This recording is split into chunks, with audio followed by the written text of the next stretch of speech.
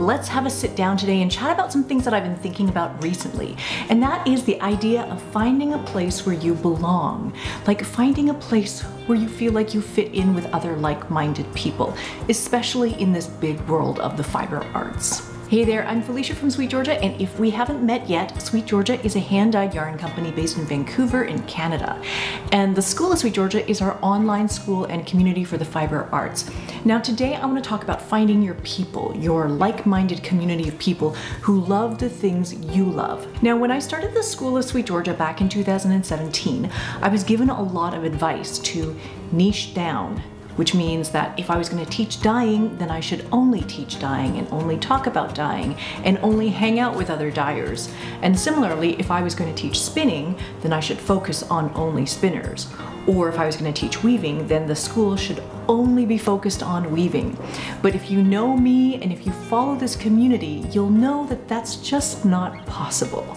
We are multi-craftual makers, and this is about the entire spectrum of the fiber arts, everything from the fiber to the cloth. So knitting, spinning, dyeing, weaving. I am a multi-craftual maker, and I want the entirety of who I am to be seen, accepted, encouraged, and welcomed. So this is what led me to starting the School of SweetGeorgia. I really wanted a place where multi-craftual people like me who are interested in the fiber arts would feel included and welcome. And so what that means for you is that if you're a knitter who also wants to dye yarn, we welcome you. If you're a spinner who also wants to knit with your yarn, we also welcome you. And if you're a dyer who wants to learn how to weave with your hand-dyed yarns, we also welcome you. So if you are at all curious about the different ways that you can transform fiber into fabric, we would love to welcome you to the School of SweetGeorgia. It's almost back to school time and it's a very natural time in the year when we're thinking about starting something new, learning something new, learning some new skills. And so if this is what you would like to do, if you're interested in joining us this year, you can visit us at schoolofsweetgeorgia.com to sign up for an all access membership and it will give you access to everything inside the school. So over the years, we've developed over 80 video-based courses in knitting, spinning, dyeing, weaving, tapestry, crochet, color theory, felting, and even some punch needle. And these are all taught by a team of amazing instructors who love these crafts and are very passionate about sharing their knowledge with you. The other big point that I wanted to mention is that we are, and we have always been, tool agnostic. So that means that if you want to spin yarn, you can use a spinning wheel, you can use a supported spindle or an e-spinner, it doesn't matter.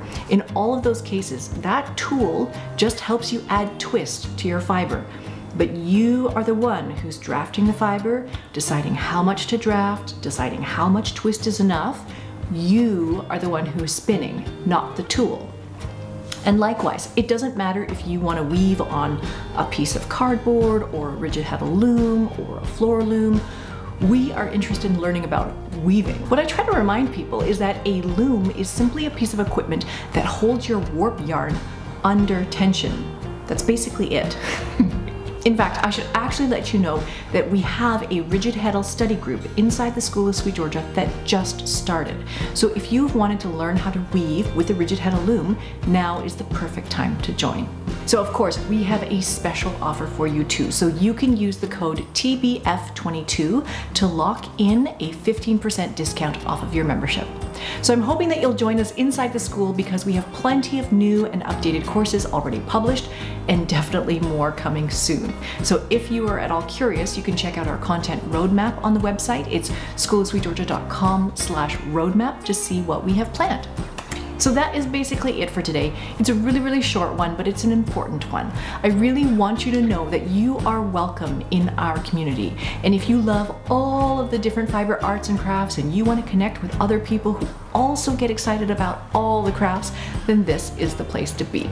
Thank you so much for watching today, and I hope to meet you inside the School of SweetGeorgia.